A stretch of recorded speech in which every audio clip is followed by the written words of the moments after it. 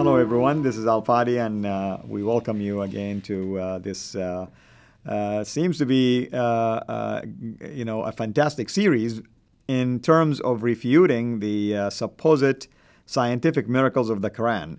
last time, myself and Dr. J. Smith addressed one of those claims that has to do with why mountains exist.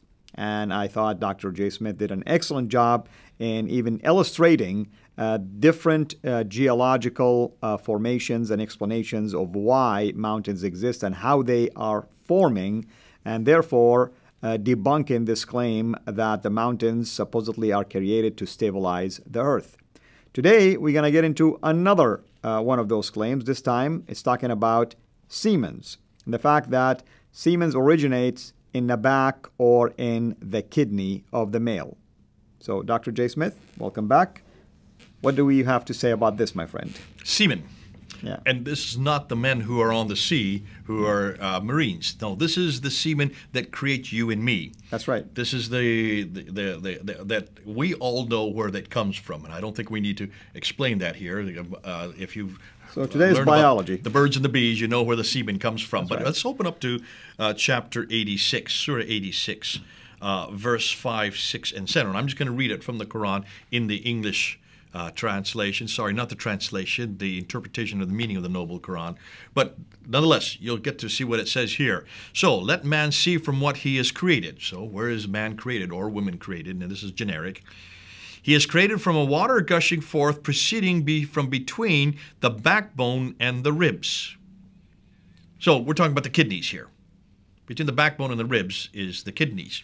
Right if that is the case, I would question whether or not whoever wrote that had ever really looked and understood where the semen comes from. Obviously, it's uh, that this is. I would say this is an error. But why would they say this? That's well, right. There's always a source for it. There's always, not always, but in this case, there is a source for it. And we can go back to the Greek writers. In the 5th century BC, you have Hippocrates. Hippocrates is well known as a writer. He did an awful lot of studies. He did an awful studies on bees. And that's why people like to use him. And he also talk about this very thing, that the semen comes from the kidneys between the backbone and the ribs. Almost exactly what is written in the Quran has been borrowed from that source. Now, okay, you say that did Hippocrates make a mistake? Yes, he did. Obviously, he made a mistake.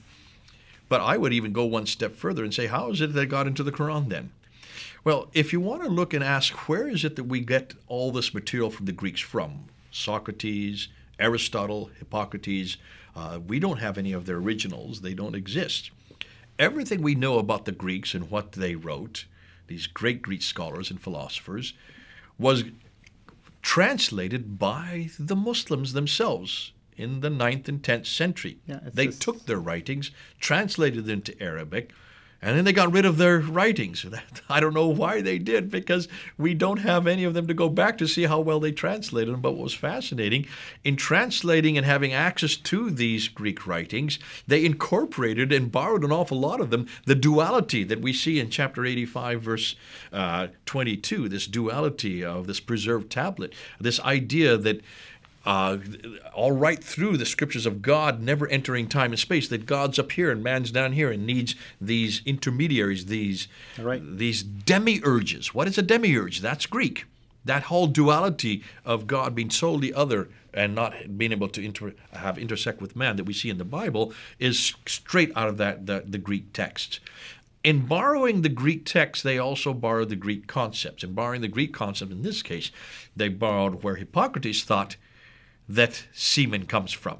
Now we know good and well it comes from the testes, not from the kidneys. Absolutely, and science can prove that. And if any Muslim have any doubts about that, then we have a problem.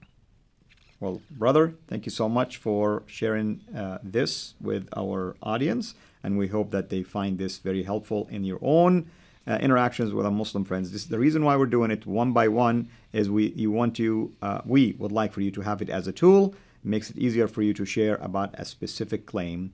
And Lord willing, we will continue to add more and more uh, to this series as uh, we find some of those interesting ones that are being often used by our Muslim friends. Until we meet again, have a blessed day. Thanks for watching. Make sure to like and subscribe.